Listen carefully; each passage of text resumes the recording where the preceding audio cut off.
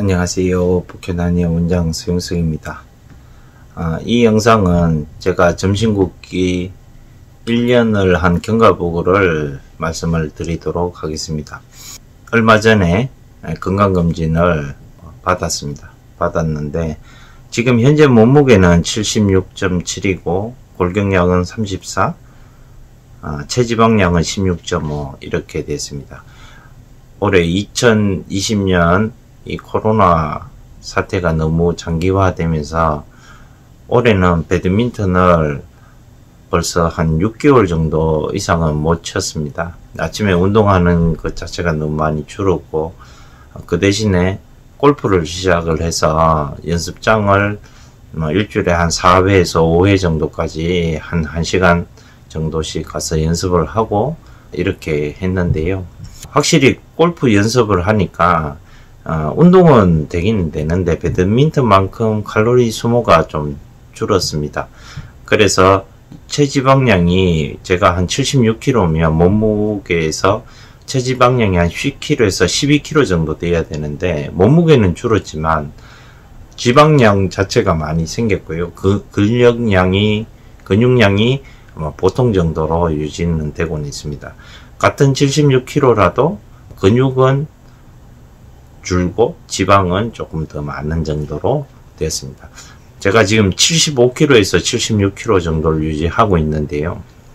이 점심 굶기라든지 한 끼를 굶는 경우에는 반드시 위에 통증이 없어야 됩니다. 그래서 요번에 저는 위 내시경도 했는데요.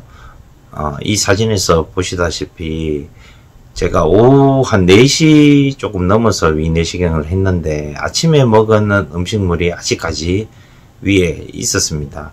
그리고 위험은 뭐 크게 많지는 않은데 약간 나이가 있으니까 위축성 위험이 약간 있다고 이렇게 봤는데요.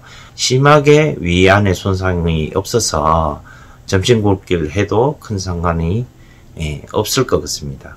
그리고 확실히 대사가 나이가 들면서 어, 젊을 때보다는 많이 떨어진 것 같습니다. 그래서 현재는 지금 75kg에서 76kg 정도를 유지를 하고 있습니다. 아침은 탄수화물을 먹고 저녁은 주로 탄수화물을 배제하고 고기 위주의 식단으로 이렇게 유지하고 있습니다. 운동을 조금 더 해주면 좋겠는데 현 상황이 너무 위험해서 지금 배드민턴 구장이 열지 않아서 어찌됐건 골프 연습을 대신해서 지금 하고 있습니다. 일단은 다이어트를 하시는 분의 제일 기본은 음식물을 줄이는 겁니다. 얼마나 효과적으로 음식물을 줄이느냐가 제일 중요하고요. 저희 현대인들의 제일 큰 문제는 영양의 과잉 공급입니다. 그냥 규칙적으로 너무 많은 영양 과잉 공급과 그리고 몸을 쓰지 않기 때문에 생기는 대사질환들이 훨씬 더 많이 생기거든요. 그래서 이 점심 굶기를 하면 간헐적 단식에 있어서 사실은 거기에는 맞진 않습니다. 근육량이 많이 줄어버릴 가능성이 상당히 높은데 이 운동과 함께 점심 굶기를 하고 그리고 위의 통증과 위의 염증 이런 부분이 반드시 없어야지만 할 수가 있습니다. 몸무게를 줄이고 싶 다고 하시면 일단은 식이섭취와 운동 이 두 가지로만 어찌됐건 저는 작년 11월 달에 85kg 이상 되는 몸을 이 정도로 만들었고 현재는 잘 유지하고 있습니다.